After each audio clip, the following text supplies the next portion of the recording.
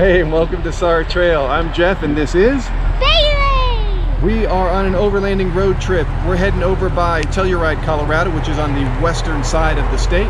And we're gonna be hitting Imogene Pass. We're gonna be camping out there and having a really good time. So if you're looking for family-friendly, family adventure stuff, give us a thumbs up, click that little button to subscribe to our channel, hit that bell also, and be notified every time we put out some family adventure stuff just for you guys. Thanks.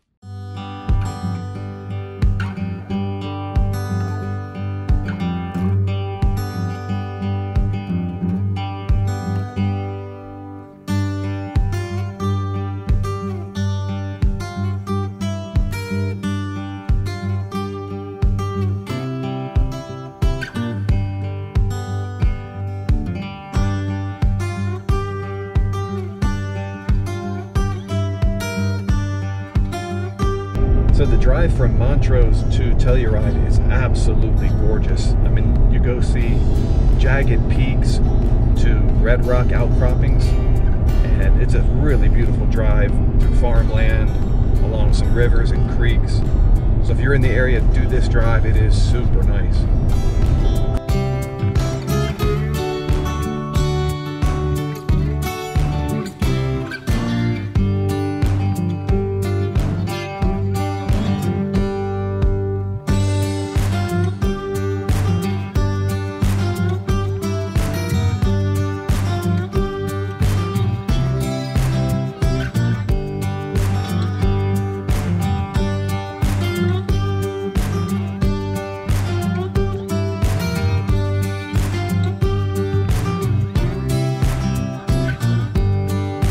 Okay, so from Tomboy Road, you're gonna be up that road, it's, I'm guessing about a quarter mile, that's what it kind of feels like.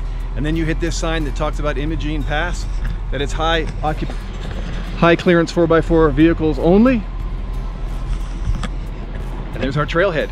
So now it's time to hop onto Imogene Pass. We're gonna start telling you all about this pass and what to expect along the way.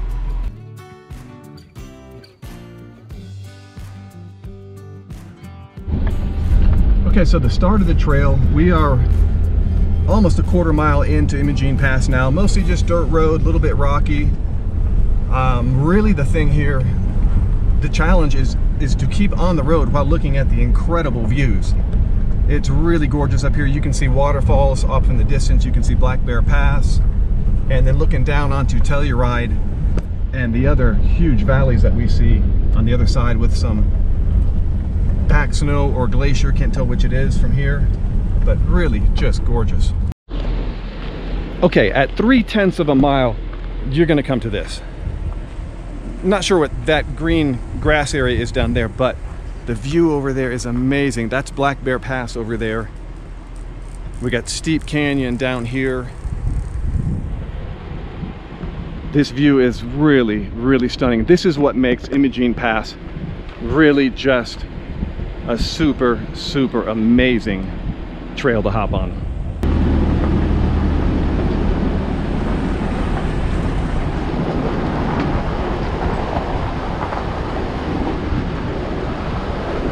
Okay, so at seven tenths of a mile, you come to your first real switchback.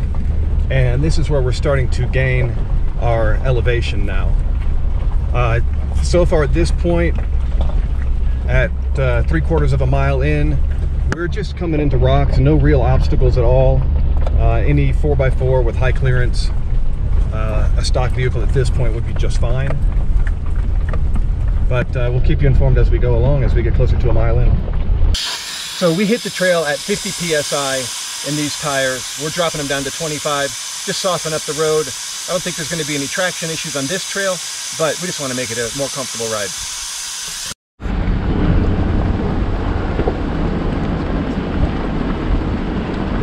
Okay, so at 1.65, between 1.6 and 1.7 miles, you come to this massive, massive switchback with this huge cliff behind us.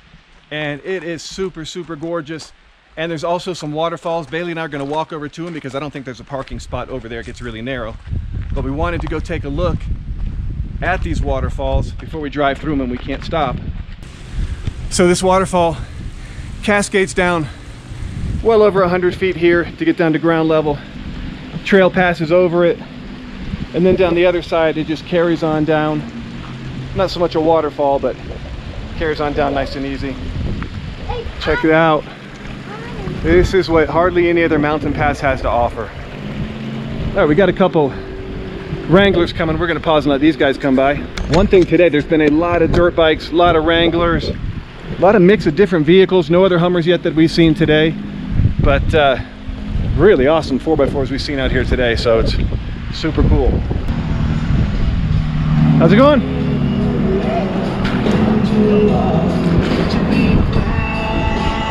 Yeah, that thing's built really nice. Check that guy out.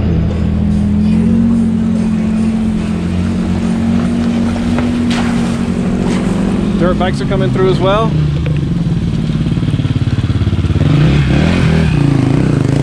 Another Wrangler, a Cherokee, a Toyota 4Runner. It's really a good mix of vehicles. I don't see anything here that is bone stock. Everything here at least has larger than stock tires, if not a lift and some suspension upgrades.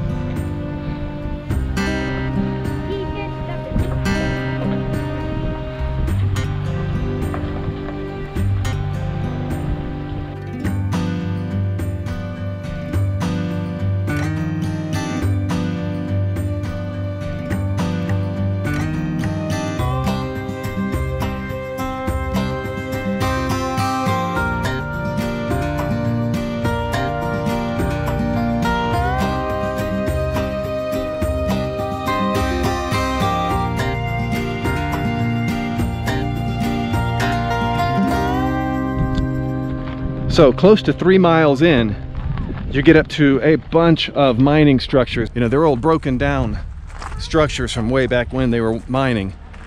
But there's so much mining history up here. It's really, really nice. And, uh, and you can look down here. These are the big massive views.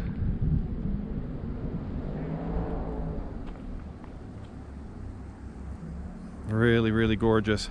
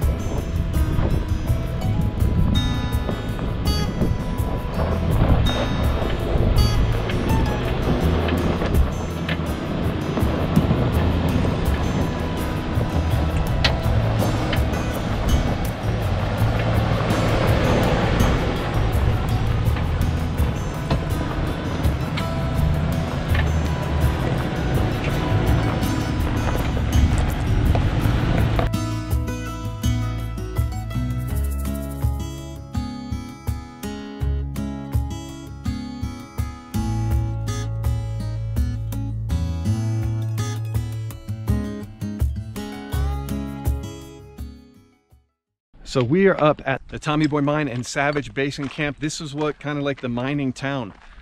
There was a general store, a school, um, barracks, housing up in here. And this was all the finished construction on the town in 1894. It was then sold for $2 million in 1897. I wonder what it would sell for today because it's huge. This is an enormous area. It, you know, it's all destroyed now. You can only see just the remnants of what this town was, but it was big. You would not expect at 11,000 feet to find a town this size. So this here is a massive structure. You can see the poured concrete foundation. This wall, kind of a retaining wall it looks like. And then huge columns here. These are just massive, massive columns.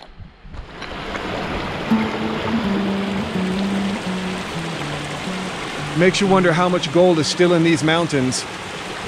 How much gold is just in this stream right here. My guess is there's a lot. You just got to know how to get it and be patient enough to get it.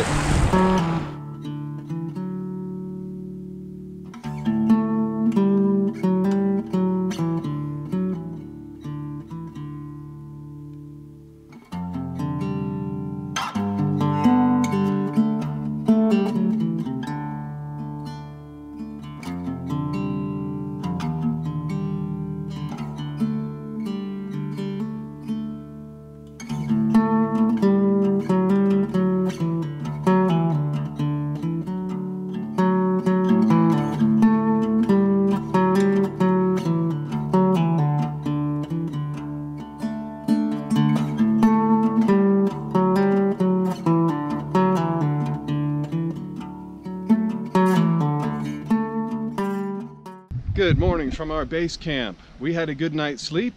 Little bit chilly for Natalie and I. We're gonna need a sleeping bag or a little bit warmer gear, but not bad, certainly good enough. And Bayly and Nana stayed warm in their sleeping bags. They were prepared. we heard some, it sounded like wolves overnight and a little bit this morning, but take a look.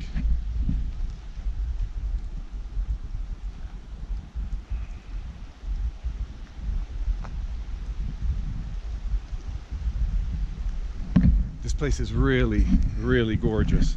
You sleep good? Stayed warm? Getting your watermelon? All right, so Natalie and I are going to be making some coffee over here.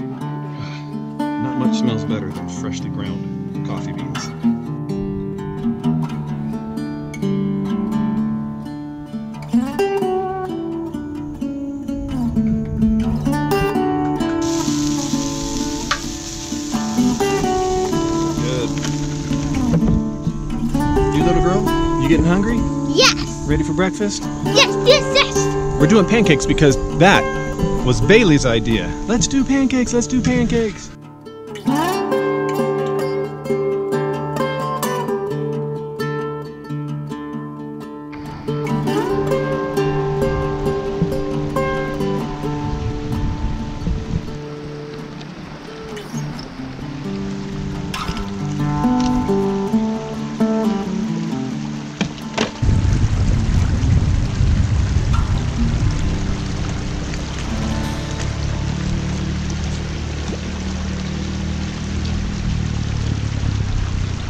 Okay, so last time you saw us, we were up camping at the old mine site um, on Imogene Pass.